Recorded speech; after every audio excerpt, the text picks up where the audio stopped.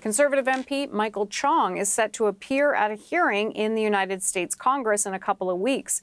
It's regarding foreign election interference by China.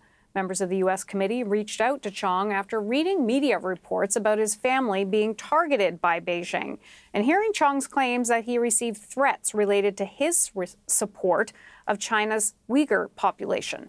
Chong says his upcoming testimony in Congress is, quote, not an everyday occurrence, and he hopes Canada and the U.S. will work more closely together against foreign interference. His appearance before the Congressional Committee, scheduled for September 12th. CBC's Alex Panetta has the story from Washington. So remember that story about Michael Chong's family being targeted by Beijing uh, uh, because of, China's anger about Michael Chong's criticism of the government in Beijing, particularly about its treatment of Uyghurs?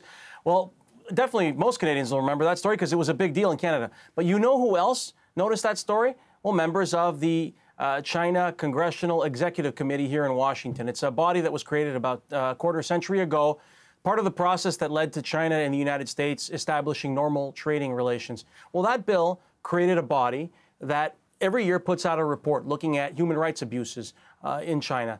Uh, and over the last several years, these reports have begun documenting cases where the Chinese government has extended its authoritarian ways outside of China and put pressure on people with, beyond its own borders. And that might sound familiar because it's sort of what happened in the case of Michael Chong. Uh, the Chong story appeared in places like the New York Times, and it was noticed here in the United States. Not by a lot of people, it was not a big story here, but people did notice it, uh, people who work on this issue. And uh, you are correct. Uh, Michael Chong was invited along with a couple of activists and analysts of, uh, the, of the Chinese government and things like its uh, so called police stations overseas, who will all be appearing at this hearing on September 12th uh, on Capitol Hill. It's not exactly a body of Congress. The, the, it's a unique structure, this organization. It's, it's got members of the Senate, members of the House, and members of the executive branch appointed by the President of the United States. All these people will be in this hearing asking Chong questions about his case. I find it fascinating. He says it's rare. It is rare, right, Alex? Absolutely. I mean, it's it's not only rare for a Canadian politician uh, in general to be testifying in the United States or before before a parliamentary body in another country, but for a, a Canadian opposition MP. I, I, spoke with Michael Chong yesterday, who told me he's going to speak with the uh, he'll he'll contact the Canadian Embassy here in Washington to discuss his testimony beforehand.